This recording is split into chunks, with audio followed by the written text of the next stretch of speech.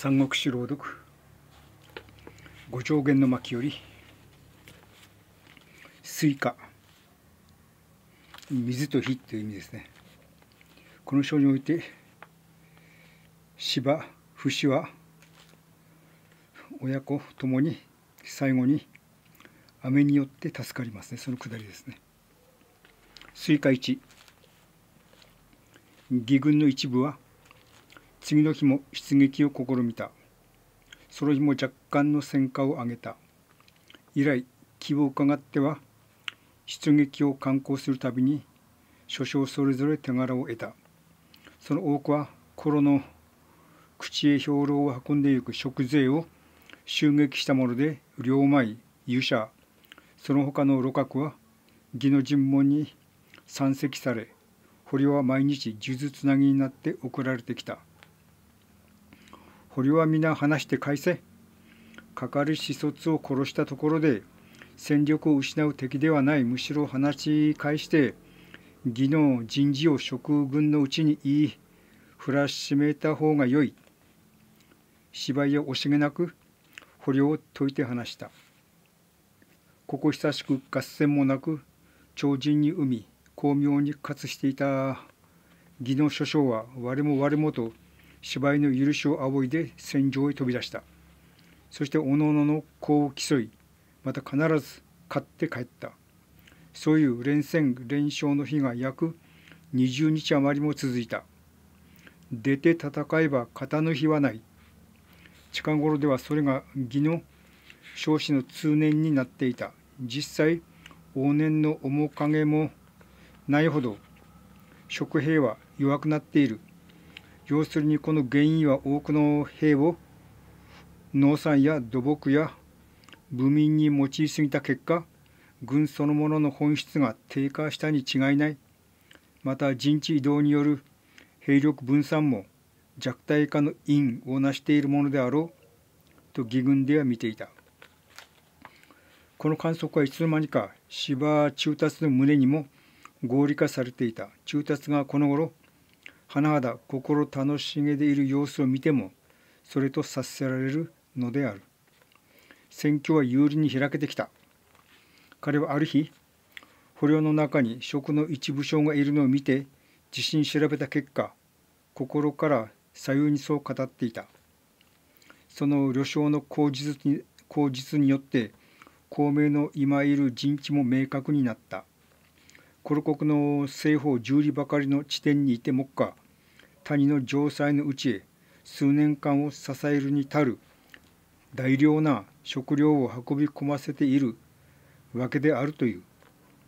計るに刻山には孔明以外の諸将がわずかに守っているに過ぎまい彼はついに戦いの指導性を握って自信奮い立った刻山総攻撃の伝命は久しく閉じたる威爆から物々しく発せられたのである。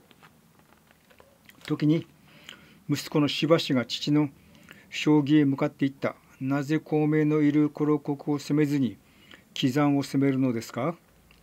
刻山は食税の根元だ。しかし孔明は食全体の命とも言えましょう。だから退去して刻山を襲いわしは後人として続くが実は不意に転じてコル国を吸収し孔明の陣を蹴破り国中に蓄えている彼の兵糧を焼き払う考えなのじゃ。兵器は密なる上にも密を要すあまりに問うな。さすがはお父上。と息子たちは皆服して父の計りごとをたたえた。芝居はまた長江学林などを読んで自分は後人として行くが何時らはなお我が後から続いてこい。なお胃を炎症を十分に携えてくるようにと言いつけた。孔明は日々失礼。孔明は日々これの谷口に近い一高地に立ってはるかに異水と刻山の間を見ていた。約1ヶ月近くも彼は味方の巻き戦のみを眺めていたわけである。その危険なる中間地帯を交渉の輸送隊がのべつ王冠してわざわざ敵の工事となっていたのも刻山の兵が戦えば敗れ戦えば敗れている食税ももとより彼の意中から出ている現象で彼の雄腕となるものではなかった。その日かつて見ない大量なる義の軍馬がまたかつて見ざる陣形を持って一段一段さらにまた一軍また一軍と刻に刺して堂々と前進していくのが遠く眺められた。おう中達がついに行動しだした。孔明は思わず叫んだ。声は口の内であったが動きはその表を尾行に染めた。待ちに待っていたものである。彼は直ちに左右の内から一生を選んで伝令を命じ、かねて申し含めておいたことどもを怠るな。夢疑うな。夢疑うなかれ。と刻んの味方へ急速に行ってやった。ちょっと給水します。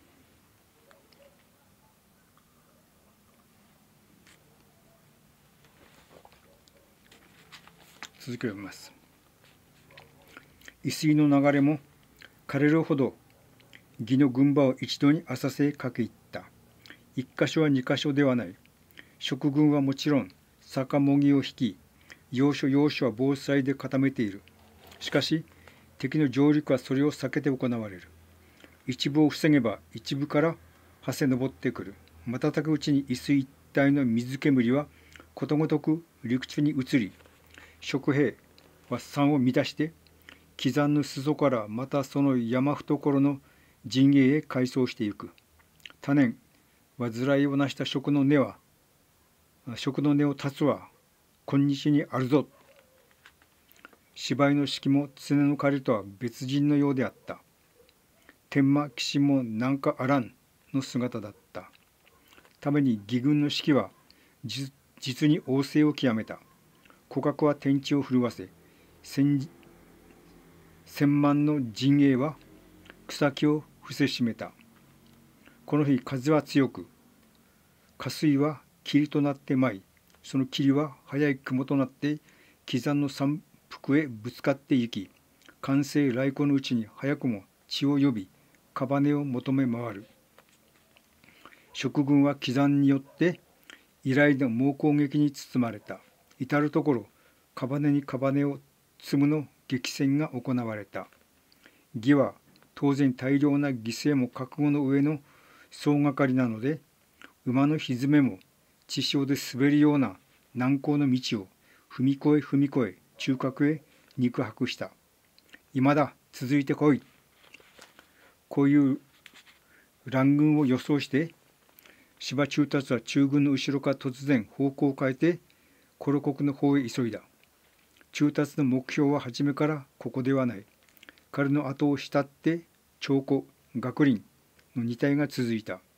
また彼の周囲には中軍の精鋭約200ばかりと芝氏芝生の2人の息子が固く父に寄り添っていた。刻の職兵は目に余る義軍に肉薄されてその防ぎに謀殺され格闘は少しも気づかぬもののようであったから芝不死とその奇襲部隊は作戦は思う壺に運んだぞと早手のごとく目的の方角へ駆け向かっていた。その途中行く会となく食兵が阻めた。阻めた。しかし何の備えもなく狼狽のまま立ち向かってくるに過ぎなかった。2300の小隊もあり7800の中部隊もあった。もとよりその程度のものでは外周一色の値すらない。蹂躙また蹂躙。芝節の前には柵もなく塀もなく矢風もない。ここは敵地かと疑われるくらいである。まさに無人の境を行くがごとき速さと激しさであった。するとやや強力な圧力が南方から感じられた。こそ完成。相当手応えのありそうな一軍だ。果たして己へどこへ？と来活しながら前方に立ちはだかった大将と一軍を見れば食中に猛将の名ある義援であった。望むところの敵よと芝居の西と旗本の精鋭は一段となって彼の出花へ飛びかかっていった。芝居も流走しごいて義援の足元へわめき進んだ。義援は奮戦した。さすがにこれは強い。一進一退が繰り返されるかと見えた。けれど芝居の後ろにはなお学林長江の二軍が続いている。その重厚と凄まじい繊維に圧されてたちまち逃げ出した「おや逃すな」この日ほど芝居が積極的に出たことは稀である彼もここぞ必勝の戦況を見定めれば決して保守一点張りの強勝でないことはこれを見ても明らかである。はやコロ国の特徴ある画がたる峰々も間近に見えた。義援は敗走する兵を立て直すと再び古装を盛り返して抗戦してきた。そしてその度に若干の損害を捨てては逃げた。無念無念と追い詰められてゆく姿だった。けれどこれも孔明の命によることであったことは言うまでもない。ついに彼は郊外まで捨てて谷の内へ逃げ込んだ。そしてかねて孔明から言われていたところの昼は七星の肌、夜は七三の灯火の見える方へという指令の目印に従って走った。待て、この地形はいぶかしい。谷の口まで来ると芝居は急に馬を止めて流行る旗本どもや二人の子を後ろに制した。そして左右の者に、誰ぞ二三機で谷の内を見届けてこい。と急に命じた。3旗本鈴木すぐ谷の口へ駆け入った。大勢が場所を並べては通れないような藍色である。見てまいりました。すぐ戻ってきた面々は芝居に向かってこう状況を告げた。谷の内を見渡すに諸々に柵あり郷ありまた新しき祭門や両層などは見えますが守備の兵はことごとく南山の一峰逃げ退いているようです。はるかそこには七星の旗も見えますからおそらくおそらくは孔明もいち早く谷外の本陣を彼方へ移したものかと思われます。聞くと芝居は蔵壺を叩いてこう命令した。敵の兵糧を焼き尽くすは今だ。諸軍の地名はただ糧にある。神戸が久しく蓄えたここの国決だに焼き尽くせば、諸軍数十万を殺すに何の刃を要そうや。駆け入って存分に火を放ち、直ちに疾風のごとく引っ返せ。西の芝市、芝省も父の知ったを聞き、この英詩を見るや釉薬してそれ続けと一同の愛色を込み合って谷込み合って続々谷の内へ突進した。いやいやなおあれに義が塔を横たえて控えておるしばらく進むな。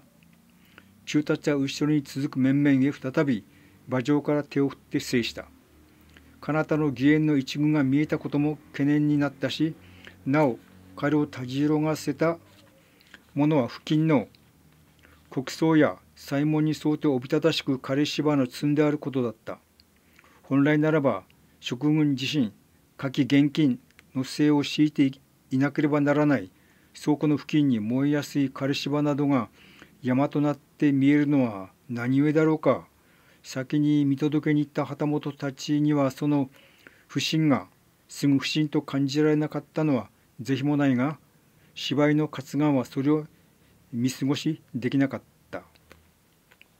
何の恐るる敵でもなし我々が当たって義援を蹴散らす間に父お父上は軍勢を得して谷中へ火を放ちすぐ外へお引き上げください。しばしと小の二兄弟が流行りきるのを中達はなお抑えて「いや待て今通ってきた藍色こそ危ない谷の内で動いておるうちに万一敵の一手があの谷口を塞ぎ止めたら我は出るにも出られない破滅に陥ろう誤った死よ小よ早く外へ引っ返せ。ええー、虚しく早く戻れあれあれ。なおこの兵が争うて続いてくる。大声上げて帰れと呼ばわれ。戻れと号令しろ。で芝居自身も声限り。後へ返せ元の道へと。鞭振り上げて静下が到底勢いづいてなだれ込んでくる。後続部隊までには容易に指令が届かない。その混雑のうちに何とはなく急に一周が強く鼻をついてきた。目にもしむ喉にもむせる。やや何の煙だ？火を放つな。火を放ってはならなならんぞ。しかし火を放った者は義軍のうちにはいない。それどころか命令の混乱で駆け込んでくる者引っ返そうとする者谷口の一同で渦巻いている騒ぎである。時こそあれ一発の轟音が谷のうちにこだました。と思うと藍色の壁を成している断崖の上から驚くべき巨大な岩石が山を震わしていくつも落ちてきた。哀れや馬も人もその下になった者は悲鳴すら上げ得ずに押しひしがれてしまう。そしてたちまちその口は類々たる体積に体積を重ねて封鎖されてしまった。いやその程度はまだ小部分の一事変でしかない。四方の山から飛んできた火矢はいつの間にか谷中を火の海となし火に追われて逃げ回る芝居中達以下義軍の駆け狂うところたちまち血を裂いて爆雷は天に中し木という木草という草思い出さないものはなかった。ちょっと給水します。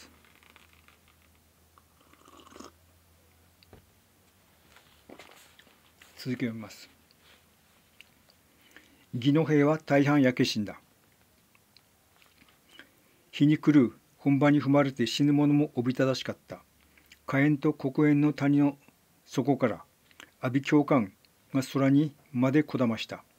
このありさまを見て計画は図に当たった。さあ立ち退こう。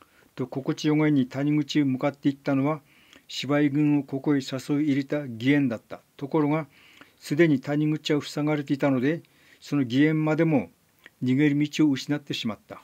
これはひどい。俺が出た合図も見ぬうちに谷口を塞ぐとは何事か。義援は慌てた。彼の部下も火に追われて次々に倒れた。彼の鎧にも火がついてきた。さては孔明のやつ日頃のことを根に持って俺までを芝居とともに殺そうと図ったに違いない無念ここで死のうとは彼は初逆立てて罵りやまなかったその頃当然谷中は熱風に満ちてはや生ける人の叫びすら少なくなっていたが芝居親子は3人一つ堀の中に抱き合って「ああ我ら節もついにここで悲鳴の死を受けるのか?」と嘆き悲しんでいたがなおこの節の天運が強かったものだろうか時しも配然として大夕立ちが降ってきた。ために谷中の大火も一度に消えてしまったそしてもうもうたる国務が立ち込め霧を吹きまく強風に駆られて再び赤い火が諸々からチロチロ立ち始めるとまた驚くべき雨量が地表も流すばかり振り抜いてくる父上父上お少よ死よ夢か。夢ではありません。天佑です。私たちは生きています。やれ助かったか？節三人は堀の中から這い上がった。そしてどことどこほど歩いたかほとんど意識もなく死の谷間から外へ出た。馬体の少女がそれを見つけまさか芝芝居不死とも思わず追いかけていったがそのうちに義の一部隊が来たのでつまらぬものを追っても無用と引き返してしまった。確定芝居親子は完全に命拾いをした。彼の出会った味方の部隊の中に長江学林の2将も救われていた。伊水の本陣に帰ってみるとここにも異変があって東部の一陣地は食兵に占領されている。それを撃退戦者と義の角合孫霊などの一軍が浮橋を中心に激戦の最中であった。しかし芝居を要した一軍が一方これ、えー、帰ってきたので蜀軍は後ろを取られてはとにわかに退却して遠く伊水の南に陣を下げた。芝居は浮き足を焼き払って敵の進路を立てと命じ直ちに両軍艦の光線路を焼き落としてしまった。もとよりこの浮橋は下流と他の地点にも陸上となくあるので機山へ向かった味方が引き上げるに困るようなことはない。その方面から続々と帰ってくる義軍も全ての敗北の姿を追っていた。義人は夜通しかがりを焚いて味方の負傷者や敗走者を北岸に収容するに努めた。そしてこの巨に乗って食軍が下流を越え我が本陣の後ろへ迂回する恐れもある。と中達はその方面にも心を使ってかなりの兵力を後方にも向けていた。この日義が失った損害というものは物的にも精神的にも開戦以来最大なものだものと言えるほどだった。しかしこの戦果を見てもなお職軍のうちにはただ一人ことを図るは人にありことをなすは天にありついに長田を一せりか、うん、長田を一せりなりああ是非もないかなと天を仰いで通類にくれていた人がある。言うまでもなく孔明その人である。彼が芝居節を補足して今日こそと必殺を期していた慶も心なき大雨のために万国の日は一瞬に消え全く水泡に帰してしまった。孔明の恨みはいかばかりであったろう。真に事を図るは人事をなすは天。是非もない。と一人涙を飲み一人遺憾を慰めているしかなかったに違いない。水火でした。